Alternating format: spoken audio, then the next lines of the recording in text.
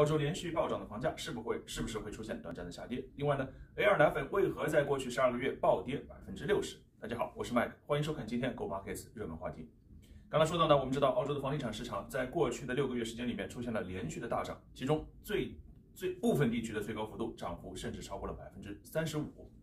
大家可能奇怪啊，这个六个月涨百分之三十五是不是夸张了一些？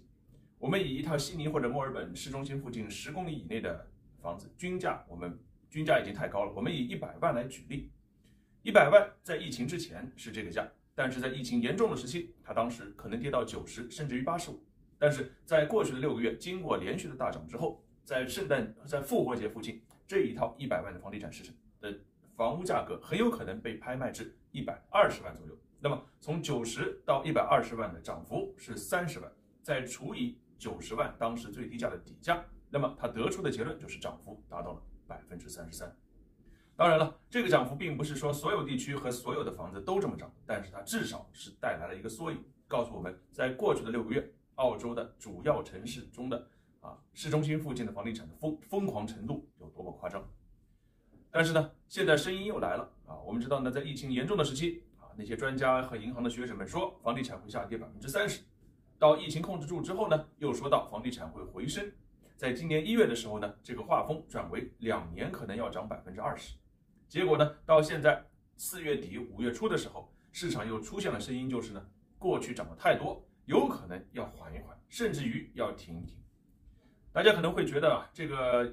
怎么对于房地产一会儿涨一会儿跌，在短短十二个月时间里面变了三四次之多啊？其实这个是和大环境有关的。但是我个人而言，我个人觉得呢，由于现在的供求关系，特别是在货币上的供求关系是严重的啊，货币超发，这就使得纸币的实际购买力和实际价值是在大幅缩水，是在加速缩水。用四个字来形容，就是现在是在万物上涨的时代。也就是说，除了我们工资不涨，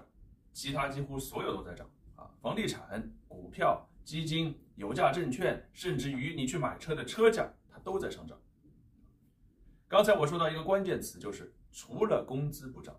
也就是说，对于普通人来说，如果他的收入只是于来自于工资收入，那么他会觉得钱越来越不经用，能够存下来的钱也越来越少。但是对于有产阶级来说，啊，他如果现在已经有股票，已经有额外的房产，那么经过这三五年时间的变化。啊社会的阶层富贫富的差距还会再次拉大，这不是好事，但是这是目前能够最有效的恢复经济的一种办法，也就是咱们中国人经常会说到的，先让一部分人富起来，再去带动剩下的人。那这一次疫情之后，大量货币的增发，会是让一部分已经富起来的人再富裕一点，让他们消费，在最后带动起社会的其他部分。所以说，房地产作为能够抵抗通货膨胀、能够抵抗啊纸币贬值一种有效工具，从长期来看啊，它一般是不可能贬值的，除非是某些特殊情况，比如说天灾人祸、战争或者是地震。除此之外啊，无非就是涨。从长期来看，它一直是涨；从短期的某个半年或者一年来看，有可能涨得太快，稍稍回调一些，但是。长期房地产上涨，那是基本是一个注定的事情，并不是由于房子它为什么能够持续涨，而是由于买房时的纸币的价值它在一直跌。股票外汇想买就买，实业黄金一网打尽，不懂英文不是问题。Go Markets 在线交易首选券商。